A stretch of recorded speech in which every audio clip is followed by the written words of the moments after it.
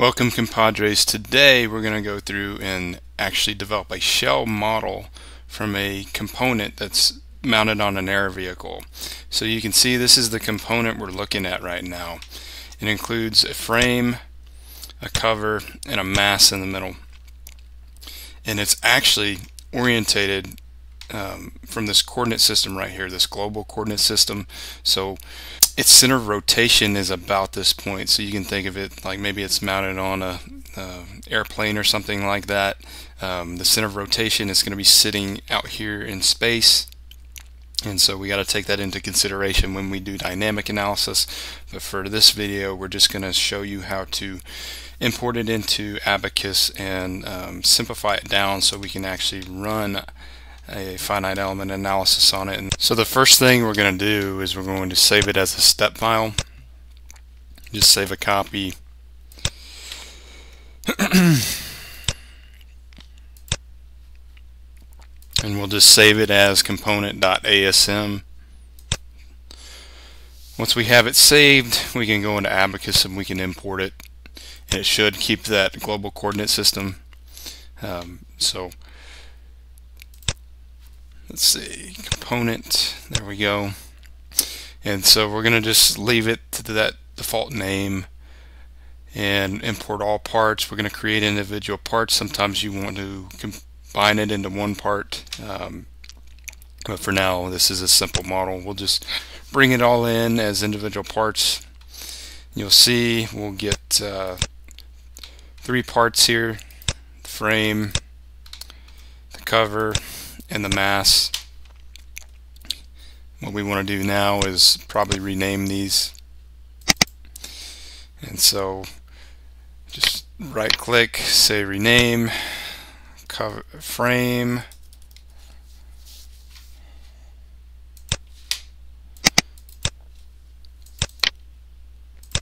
cover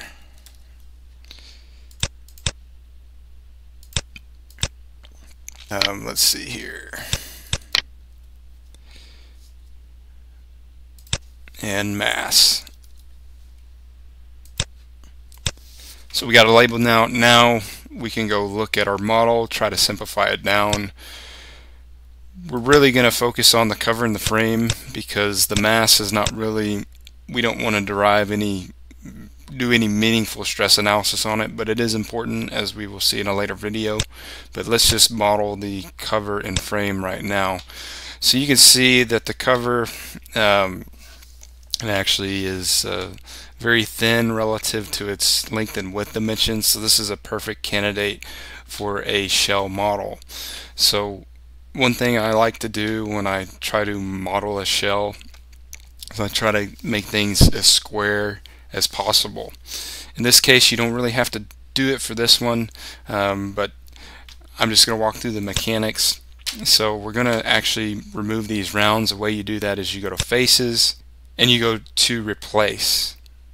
Some of this terminology in Abaqus isn't really, is very mysterious, but um, this is how you remove rounds, and you have to check this Extend Neighboring Faces what we're going to do is uh, just click all these rounds and you can click them all at once. Uh, just hold down shift to select multiple faces and then middle mouse click and you can see now we have a square part. So the next step um, we actually want to create a mid surface so before you shell a part um, you have to assign a mid-surface region and I'll click that and click the cells and I've assigned a mid-surface region right here. And so to actually make a shell from this you have to go into um, offset faces here. So select the faces you want to offset and then you can select up to a target face or you can select auto select and it'll find it for you um, that looks good. And so you'll press OK. And there is your shell. And actually um, we're going to remove the render of the reference representation right here. And you can see that is your shell of that cover. Just a flat uh, 2D representation of a 3D model. Um, so I'm going to go ahead and uh, move on to the next one. So we'll move on to the frame. The frame, um, you can see it's a little more complex, um, but we can still um, make a shell element out of this. Um, so I'm just going to step through that first. We want to remove any rounds and so we'll do the same process go through replace extend neighboring faces don't forget that and I'm going to click on these fillets and rounds.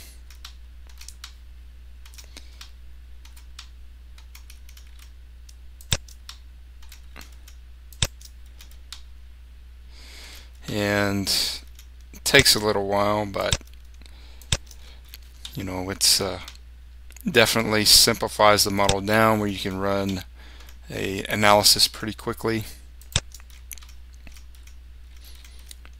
And you can use you know SpaceClaim to help you do this but in Abaqus, it's, it's really advantageous to do it in Abaqus. um, it just makes things simpler. Just take my word for it. Um, because when you're doing an iterative design process with a bunch of engineers um, things can change quickly. And um, so there we have it so looks like I missed one right here but you get the point right and uh, so we've gone ahead and removed all the rounds Next thing we want to do is we want to assign a mid-surface region. So we'll go back, assign a mid-surface region to the entire frame. And that's what you have right now. Now we want to start to create the uh, shells. So we go back, same process. And this is really an art. Um, I'm not going to tell you that there's one best way to do it. Um, but I'm going to start with the top here. Middle mouse click, auto select. And that looks good. Say OK. And I'll go ahead and do these faces and pause the video. Um, and um, we'll move on to the next step. So I've went ahead and did our offset faces. Now I got a bunch of shells. Now I got to connect them all together. Part of shell modeling is you have to connect the shells together. You can't leave any gaps. So there's several ways to do this. In Abaqus um, it all boils down to the geometry edit tool and to get these faces to connect I like to use this extend faces. And what we do is um, we can see we have some gaps on the bottom here. So I'm going to go ahead and um, select a edge that I want to extend. And I can select multiple edges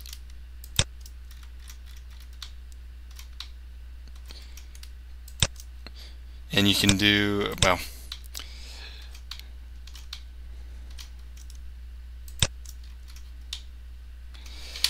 I'm going to middle mouse click and I'm going to actually select this up to reference representation. So it's just going to um, use the reference representation that we've been uh, showing here. And it's just going to extend all the way to the, the bottom of this this uh, outline right here and we'll do the same thing for the top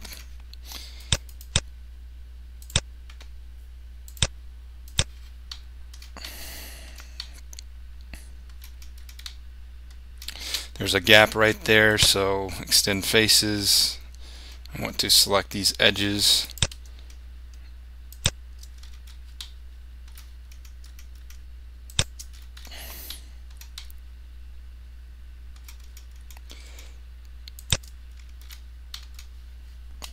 And this takes some time, guys. I mean, uh, being a structural analyst is not easy. It's one of the hardest jobs, uh, but it's very rewarding, uh, especially the technical knowledge you gain by doing this. And so um, you can see that we have some overlapping right here between the shell elements. We want to actually trim that up. And um, so another, you go back to the geometry edit tool and you go to remove and you can select these, trim these out.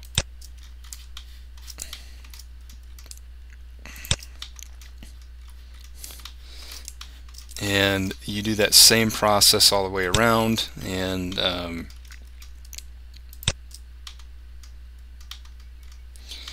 that's how you do that. You just make things uh, connected, no overlaps, flush together and I'm going to pause the video and do the rest of this clean it up but you get the point. So I've trimmed up the model and made sure everything's connected. So this is what our frame looks like now. It's pretty clean clean cut. And um, we should be able to take this now and assign a thickness to it.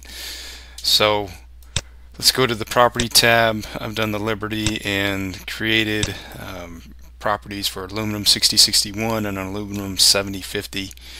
We're going to call the frame aluminum 6061 and the cover aluminum 7050. So first step we want to do is we want to assign a shell thickness to these. The way to do that is to create a section. So if we go over here to this selection over here, we're going to call this aluminum 6061 and I like to, uh, we're going to have to assign multiple thicknesses in this case. It looks like three. Um, what we have here is we have this top portion. It's going to have a certain thickness. We have to go back to the model to look and see what that is. Um, if you measure it in Creo, it's basically a tenth of an inch or a 100 thou. 100 mil, whatever you want to call it, whatever you used to call it. And we'll go back and um, so I'll do that 0.10 and you're going to select shell homogeneous and you don't want to add periods here. The value shell thickness 0.1 it's going to be aluminum 6061 as I denoted and then what we have to do next is we have to assign that section to a region. So we'll have to create a set. In Abaqus, you have to do this a lot. Just get used to it. And so I'm going to select this. I'm going to call it just uh, 6061 01 and we're going to assign it from the middle surface. Everything's flush so we're good here. And um, but you may have to change that. You may have to introduce an offset in some cases. I'll get into that in later videos. Um, and it turns green. So uh, that means you've assigned a section to that region and you're good to go. And we do the same thing for everything around the corner. We go back to our Creo model and we just say what is the thickness of this front face well it happens to be a tenth of an inch right? So we can actually go back to regions and go to set manager and um, edit this and we want to assign the same shell thickness to this and we'll have to look at the bottom here.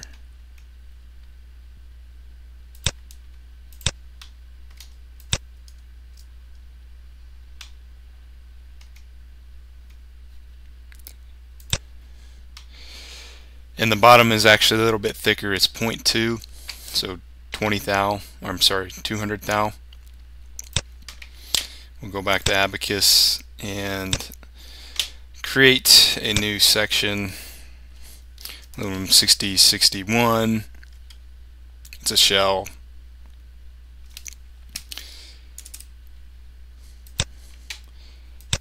Sign a value thickness material. It's okay. Sign that section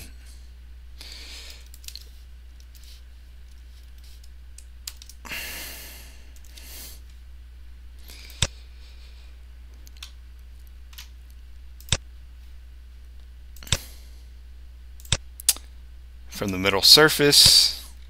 And we've done all we can with this. And one thing you want to do um, this is just a check um, to make sure you have everything right. Uh, you'll find yourself doing this a lot when you're doing finite element analysis.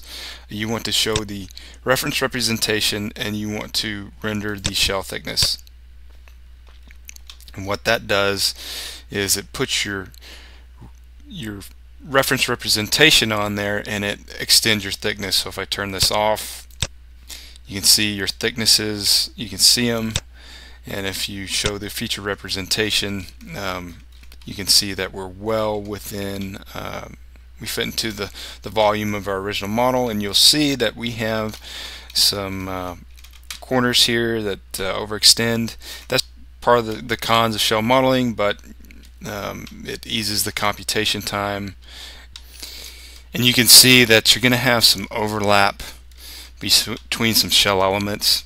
Um, that's just uh, part of modeling with shells. You're going it's actually going to change your mass and inertia loads a little bit but it's so minimal that it really doesn't make a difference. And um, also this element right here since it's got a longer uh, length it's going to be uh, a little more flexible but once again that's the sacrifices with shell modeling that you make to simplify and run an analysis and uh, so um, thought I'd give you a little bit of background on, on some of that. I was just that always uh, stunned me when I first began but I just realized that your geometry is going to change a little bit but it's going to benefit on the post-processing side and so that's how you do that. I'm going to go ahead and um, do the cover.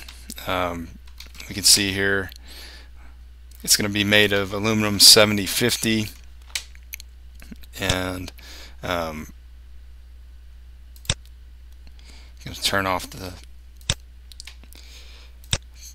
shell thick uh, the uh, render here. We'll go back into Creo or any modeling software that you have and um, measure the thickness of this.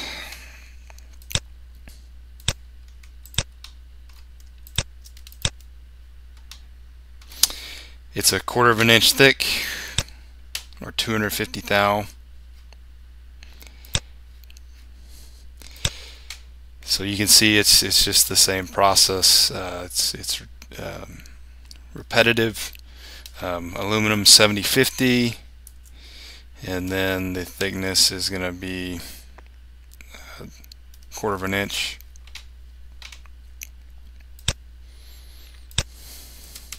Assign a value uh, or material. And then assign the section to a region